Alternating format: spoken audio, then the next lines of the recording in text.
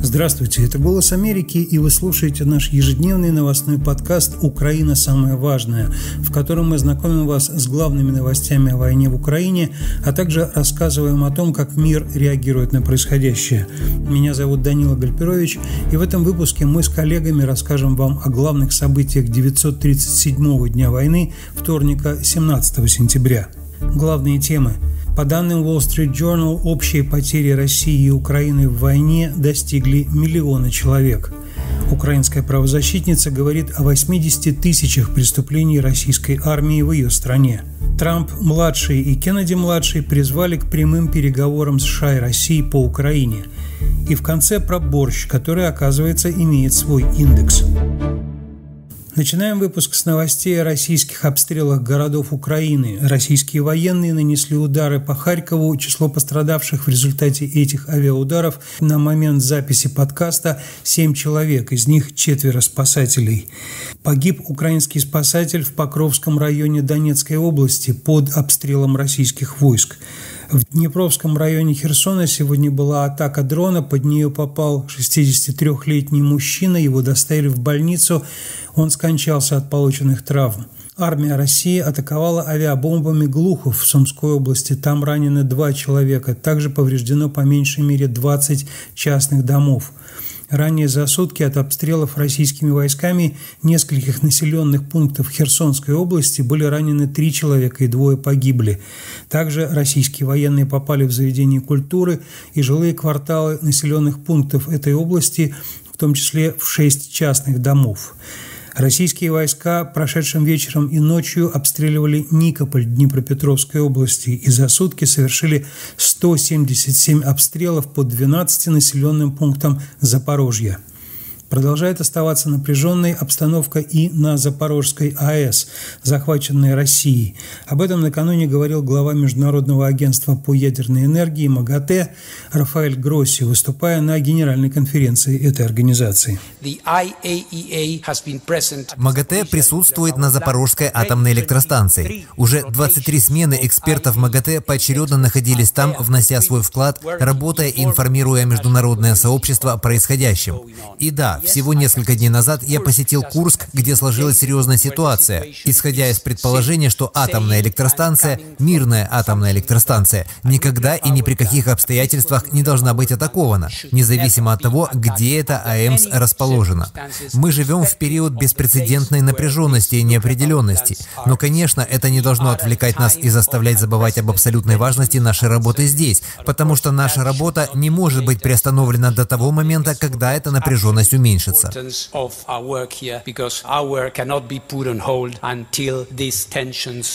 Глава МАГАТЭ Рафаэль Гросси. Далее военная сводка. Российские войска в минувшие сутки наиболее интенсивно наступали на Покровском и Кураховском, а также были активны на Лиманском и Торецком направлениях, сообщает Генеральный штаб Вооруженных сил Украины. На Харьковском направлении россияне два раза атаковали оборонительные рубежи украинских военных недалеко от Волчанска. На Купинском направлении Россия 10 раз проводила штурмы. ВСУ отбили 6 атак, еще 4 продолжаются.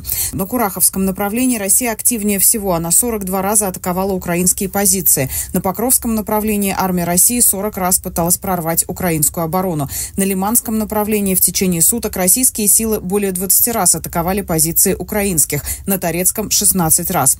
В обзоре разведки Министерства обороны Великобритании за вторник, 17 сентября, говорится о том, что из-за значительных потерь на поле боя и недостаточных темпов их компенсации в России были вынуждены заметно повысить выплаты военнослужащим, чтобы привлечь к службе еще больше людей. По оценкам британской разведки с начала полномасштабного вторжения в Украину российские потери, вероятно, составляют более 610 тысяч убитыми и ранеными. Тактика, основанная на массовых пехотных волнах, требует от России непрерывного пополнения передовых сил, отмечают британские разведчики. По их оценкам, темпы набора в российскую армию в этом году снизились по сравнению с показателями прошлого года и составляют, по официальным данным Москвы, около тысячи человек ежедневно. О потерях в войне России против Украины сегодня пишет и американская пресса. В частности, газета Wall Street Journal выпустила статью, в которой говорится, что общее количество убитых и раненых в этой войне с обеих сторон могло достигнуть миллиона человек. По конфиденциальным украинским оценкам, опубликованным ранее в этом году, число погибших украинских военнослужащих составило 80 тысяч человек, а раненых 400 тысяч, по словам людей, знакомых с этим вопросом.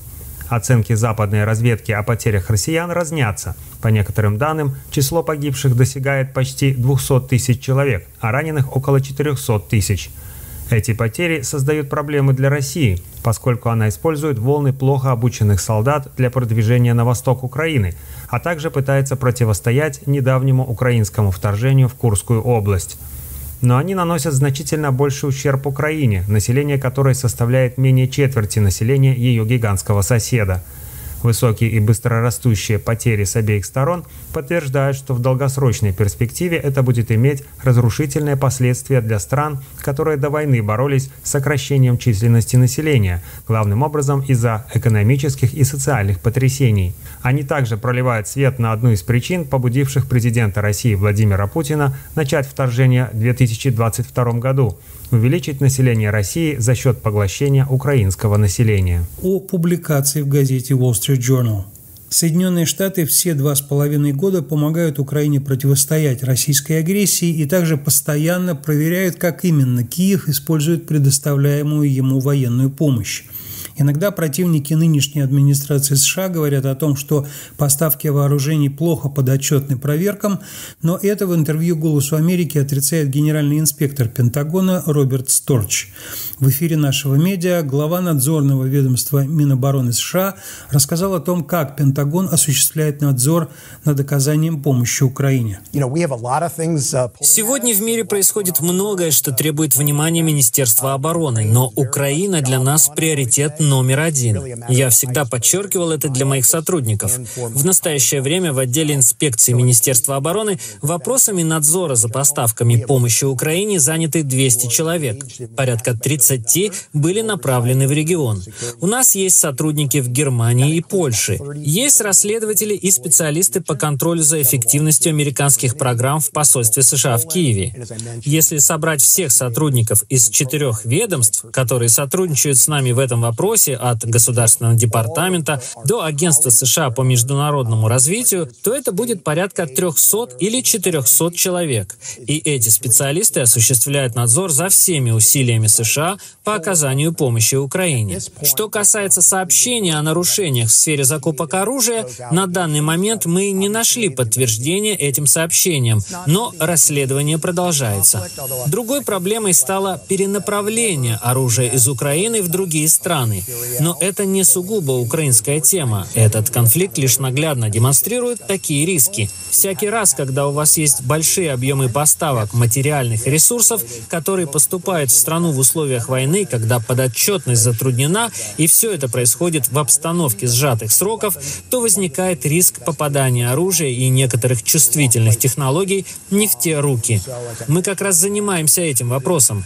Конечно, есть значительный риск, но мы делаем все возможное, нужное, чтобы решить эту проблему. Мы запустили сайт ukraineoversight.gov, на котором есть ссылки на горячие линии в моем отделе и других ведомствах. И я призываю людей, связанных с программами американской помощи, у которых есть информация, вызывающая вопросы или подозрения, сообщать нам о ней. Генеральный инспектор Пентагона Роберт Сторч Многие правозащитники и активисты говорят о том, что российская армия сделала преступные методы ведения войны своей постоянной тактикой, и что на оккупированных Москвой украинских территориях эта тактика не меняется. Именно поэтому западную помощь Украине вооружениями нужно расширять, а радиус применяемых Киевом вооружений увеличивать.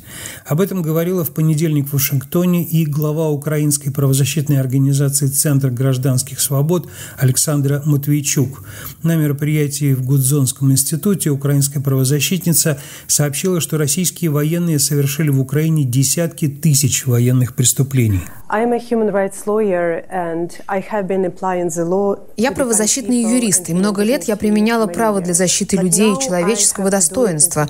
Но теперь мне приходится делать это в ситуации, когда право не работает. Российские солдаты умышленно обстреливают жилые дома, школы, церкви, музеи и больницы. Они атакуют гуманитарные коридоры, пытают людей в фильтрационных лагерях, а также насильно увозят украинских детей в Россию, чтобы вырастить их русскими. Они запрещают украинский язык и культуру, похищают, насилуют, грабят и убивают гражданских лиц на оккупированных территориях. И вся система ООН, предназначенная для охраны мира и безопасности, не может это остановить. Только за эти два года широкомасштабной войны мы нашими совместными усилиями задокументировали более 80 тысяч эпизодов российских военных преступлений в Украине.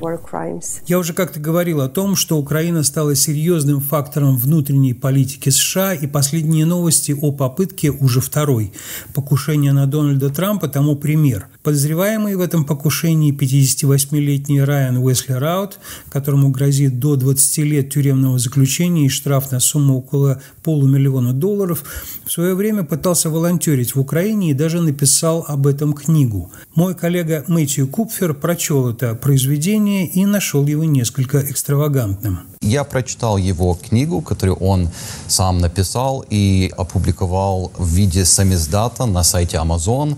На самом деле там очень много странностей. Это произведение, которое иногда напоминает своей абсурдностью Дон Кихот. То есть он приехал в Украину, чтобы спасти Украину от России, но приехав, он обнаружил, что, во-первых, его были не готовы взять э, в иностранный легион Украины, и еще украинцы не очень хотели, чтобы он их спас.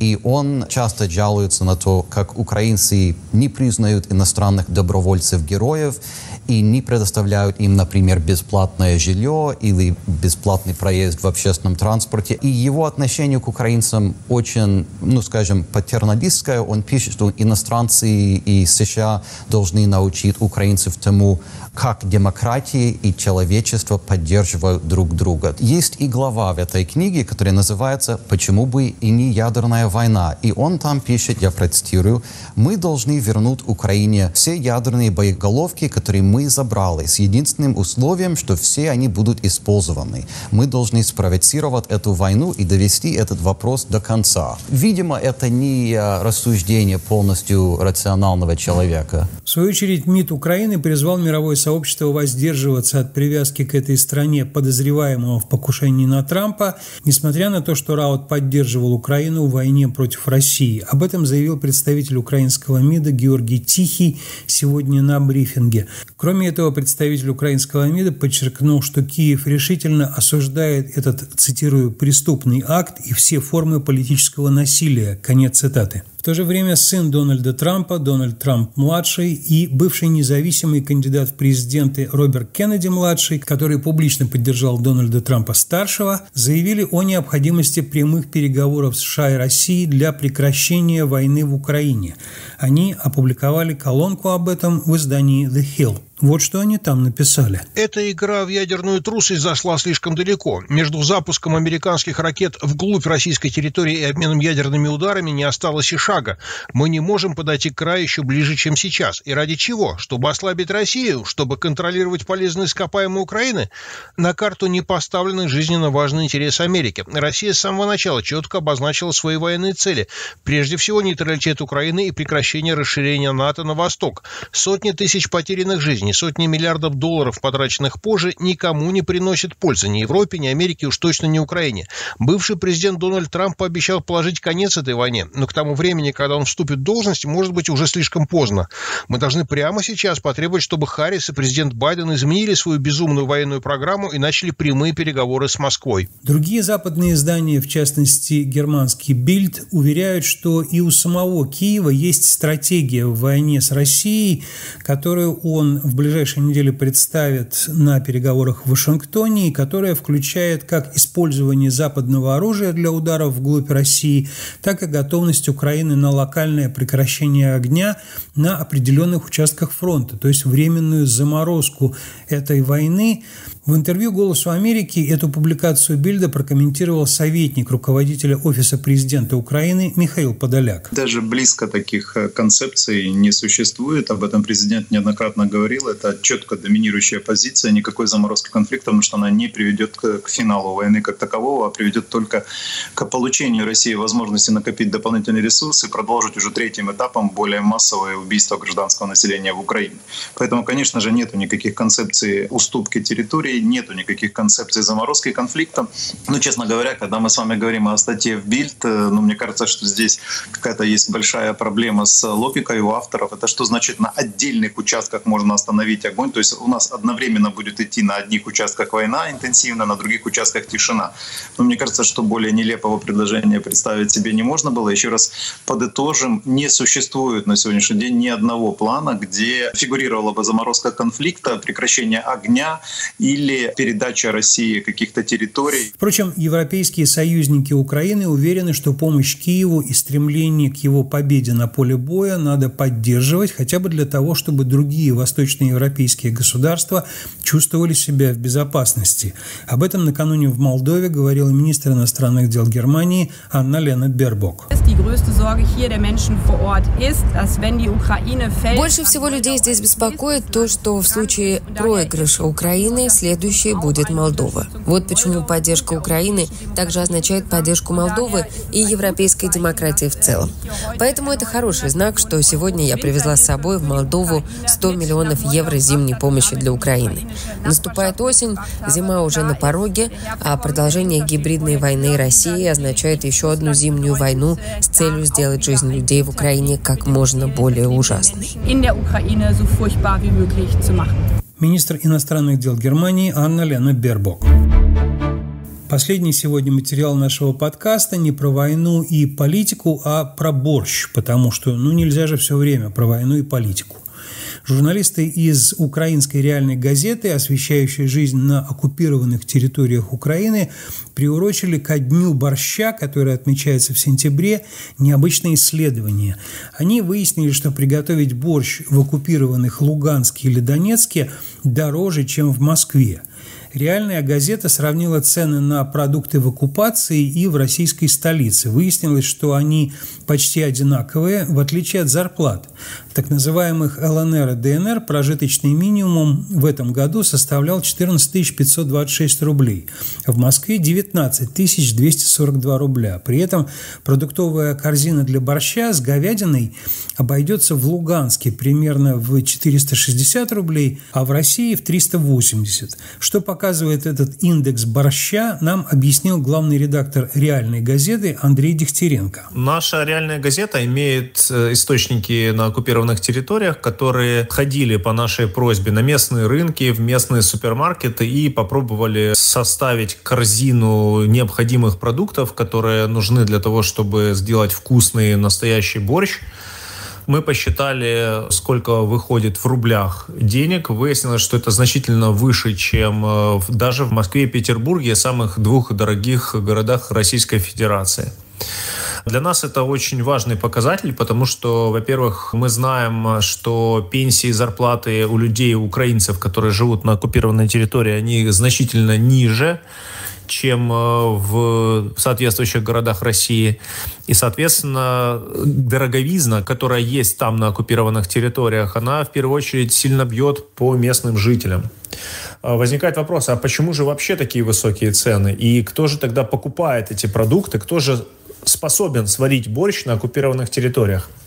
А, в первую очередь, и ответ достаточно очевиден, это российские военные, которые э, получают большие зарплаты за участие в войне, и, э, соответственно, они являются главным таким двигателем местной экономики. То есть они как раз э, и покупают эти дорогие продукты. Для них как раз и варятся эти дорогие борщи, с салом, с хлебом, со сметаной. А вот местные жители, пенсионеры, люди, которые просто живут там, пытаются выживать, этот борщ себе позволить не могут. Вот э, подобное сравнение цен как раз осенью, когда многие эти продукты уже созрели и должны быть дешевыми, показывает, что очень все плохо. А на местах с этой экономикой она полностью заточена на обслуживание оккупантов. Местные жители, они мало того, что их голос практически не слышен, но даже по таким вот простым экономическим выкладкам, потребительским выкладкам, э, очень хорошо видно, что жизнь их далеко не сахар. Как отмечают журналисты реальной газеты, луганский борщ уникальный, с ноткой спелых помидоров, созревших на местных полях, которые сейчас Россия планомерно уничтожает. Напомню, в 2022 году организация ЮНЕСКО внесла украинский борщ в список нематериального культурного наследия человечества. Этим сообщением мы заканчиваем наш сегодняшний выпуск ежедневного подкаста русской службы «Голоса Америки. Украина. Самое важное». У микрофона был Данила Гальперович. Также над выпуском работал звукорежиссер Александр Зимуха. Пожалуйста, подписывайтесь на наш подкаст на платформе Apple Подкасты, слушайте его напрямую с сайта «Голоса Америки», ну и, конечно, на канале «Эхо». Большое вам спасибо за внимание. Продолжим завтра.